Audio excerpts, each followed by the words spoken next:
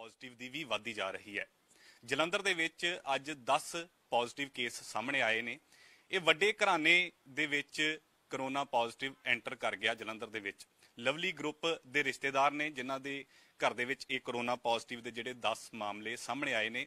ਇੱਕੋ ਪਰਿਵਾਰ ਦੇ 7 ਮੈਂਬਰ ਨੇ 2 ਹਿਮਾਚਲ ਦੇ ਨੇ ਅਤੇ ਕੁੱਲ ਮਿਲਾ ਕੇ 10 ਕਰੋਨਾ ਦੇ ਮਰੀਜ਼ ਜਿਹੜੇ ਆ ਅੱਜ ਸਾਹਮਣੇ ਆਏ ਨੇ। ਕੁੱਲ ਗਿਣਤੀ ਜਲੰਧਰ ਦੇ ਵਿੱਚ 263 ਹੋ ਚੁੱਕੀ ਹੈ, ਜਿਹੜੇ ਦੋ ਹਿਮਾਚਲ ਦੇ ਆਏ ਨੇ, ਉਹ ਜਲੰਧਰ ਦੇ ਵਿੱਚ ਨਹੀਂ ਗਿਣੇ ਜਾਣਗੇ। ਹਾਲਾਂਕਿ ਇਹਨਾਂ ਦੀ ਟੈਸਟਿੰਗ ਜਿਹੜੀ ਹੈ, ਪ੍ਰਾਈਵੇਟ ਲੈਬ ਤੋਂ ਹੋਈ ਹੈ। ਜਲੰਧਰ ਦੇ ਸਿਵਲ ਹਸਪੀਟਲ ਦੇ ਵਿੱਚੋਂ ਟੈਸਟ ਨਹੀਂ ਹੋਏ, ਪਰ ਫਿਰ ਵੀ ਨੋਡਲ ਆਫੀਸਰ ਟੀਪੀ ਸੰਧੂ ਹੋਣਾ ਨੇ ਜਾਣਕਾਰੀ ਦਿੰਦਿਆਂ ਕਿਹਾ ਹੈ ਕਿ 10 ਕਰੋਨਾ ਦੇ ਪੋਜ਼ਿਟਿਵ ਮਰੀਜ਼ ਜਲੰਧਰ ਦੇ ਵਿੱਚ ਆ ਚੁੱਕੇ ਨੇ। ਇਹ ਜਲੰਧਰ ਦੇ ਡਿਫੈਂਸ ਕਲੋਨੀ ਦੇ ਰਹਿਣ ਵਾਲੇ ਨੇ ਅਤੇ ਲਵਲੀ ਗਰੁੱਪ ਦੇ ਨਾਲ ਸੰਬੰਧਿਤ ਨੇ, ਉਹਨਾਂ ਦੇ ਪਰਿਵਾਰਕ ਮੈਂਬਰ ਹੀ ਨੇ। ਇਹਨਾਂ ਦਾ ਕਾਰੋਬਾਰ ਹੈ ਲਵਲੀ ਸੈਨੀਟਾਈਜ਼ਰ ਲਵਲੀ ਸੈਨੀਟੇਸ਼ਨ ਦਾ। ਲਵਲੀ ਸੈਨੀਟੇਸ਼ਨ ਦੇ ਗਰੁੱਪ ਜਿਹੜਾ ਹੈਗਾ ਹੈ, ਲਵਲੀ ਗਰੁੱਪ ਤਾਂ ਉਹਨਾਂ ਦੇ ਪਰਿਵਾਰਕ ਮੈਂਬਰਾਂ ਦੇ ਇਹ ਰਿਪੋਰਟ ਜਿਹੜੀ ਹੈ ਪੋਜ਼ਿਟਿਵ ਆਈ ਹੈ, ਜਿਨ੍ਹਾਂ ਦੇ ਵਿੱਚੋਂ 4 ਫੀਮੇਲ ਹੈਗੀਆਂ ਨੇ 6 ਮੇਲ ਨੇ। ਸਭ ਤੋਂ ਵੱਧ ਉਮਰ ਫੀਮੇਲ 73 ਸਾਲ ਹੈ ਅਤੇ ਸਭ ਤੋਂ ਛੋਟੀ ਉਮਰ ਦੇ ਜਿਹੜੇ ਨੌਜਵਾਨ ਹੈਗੇ ਨੇ 20 ਸਾਲ ਦੀ ਉਮਰ ਹੈ। ਤਾਂ ਕੁੱਲ ਗਿਣਤੀ ਜਲੰਧਰ ਦੇ ਵਿੱਚ 263 ਹੋ ਚੁੱਕੀ ਹੈ।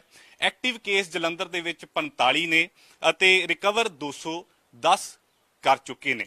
ਹਾਲਾਂਕਿ ਪਿਛਲੇ ਲਗਾਤਾਰ ਦਿਨਾਂ ਤੋਂ ਜਿਹੜੇ ਕਰੋਨਾ ਦੇ ਮਰੀਜ਼ ਠੀਕ ਹੋ ਰਹੇ ਨੇ, ਪਰ ਅੱਜ ਕਾਫੀ ਦਿਨਾਂ ਬਾਅਦ ਜਲੰਧਰ ਦੇ ਵਿੱਚ 10 ਕੇਸ ਪੋਜ਼ਿਟਿਵ ਪਾਏ ਜਾ ਚੁੱਕੇ ਨੇ। ਹਾਲਾਂਕਿ ਨੀਤੀਆਂ ਜਿਹੜੀਆਂ ਨੇ ਸਰਕਾਰ ਦੀਆਂ ਇਹ ਵੀ ਹੋ ਚੁੱਕੀਆਂ ਨੇ ਕਿ ਜਿਹੜੇ ਇੱਕ ਵਾਰੀ ਜਿਨ੍ਹਾਂ ਦੇ ਕਿਸੇ ਕਿਸੇ ਵੀ ਤਰ੍ਹਾਂ ਦੇ ਲੱਛਣ ਨਹੀਂ ਹੈ ਤਾਂ ਲੱਛਣ ਨਾ ਹੋਣ ਕਾਰਨ ਉਹਨਾਂ ਨੂੰ 5 ਜਾਂ 10 ਦਿਨਾਂ ਬਾਅਦ ਉਹ, ਛੱਡ ਦਿੱਤਾ ਜਾਵੇ। ਤਾਂ ਇਸੇ ਤਰੀਕੇ ਨਾਲ ਹੋ ਰਿਹਾ ਹੈ। ਪੂਰੇ ਪੰਜਾਬ ਦੀ ਜੇਕਰ ਗੱਲ ਕਰਾਂ ਤਾਂ ਪੰਜਾਬ ਦੇ ਵਿੱਚ 91113 ਟੈਸਟ ਕੀਤੇ ਗਏ ਨੇ ਜਿਨ੍ਹਾਂ ਦੇ ਵਿੱਚੋਂ ਪੋਜ਼ਿਟਿਵ 2301 ਪੰਜਾਬ ਦੇ ਵਿੱਚ 2301 ਮਾਮਲੇ ਜਿਹੜੇ ਕੱਲ ਤੱਕ ਰਿਪੋਰਟ ਹੋਏ ਸੀ। ਇਹ ਕੱਲ ਦੇ ਕਰੋਨਾ ਬੁਲੇਟਿਨ ਦੀ ਮੈਂ ਗੱਲ ਕਰ ਰਿਹਾ ਕਿ 2301 ਪੋਜ਼ਿਟਿਵ ਨੇ, ਜਿਨ੍ਹਾਂ ਦੇ ਵਿੱਚੋਂ 2000 ਠੀਕ ਹੋ ਕੇ ਆਪਣੇ ਘਰ ਦੇ ਵਿੱਚ ਚਲੇ ਗਏ ਨੇ ਅਤੇ 44 ਮੌਤਾਂ ਹੋਈਆਂ ਨੇ ਪੰਜਾਬ ਦੇ ਵਿੱਚ। ਤਾਂ ਜਲੰਧਰ ਦੀ ਬ੍ਰੇਕਿੰਗ ਇਸ ਵੇਲੇ ਡੇਲੀ ਪੋਸਟ ਉੱਪਰ ਤੁਸੀਂ ਦੇਖ ਰਹੇ ਹੋ ਕਿ 10 ਪੋਜ਼ਿਟਿਵ ਕੇਸ ਜਲੰਧਰ ਦੇ ਵਿੱਚ ਆਏ ਨੇ, ਜਿਸ ਤੋਂ ਬਾਅਦ ਗਿਣਤੀ 263 ਹੋ ਚੁੱਕੀ ਹੈ।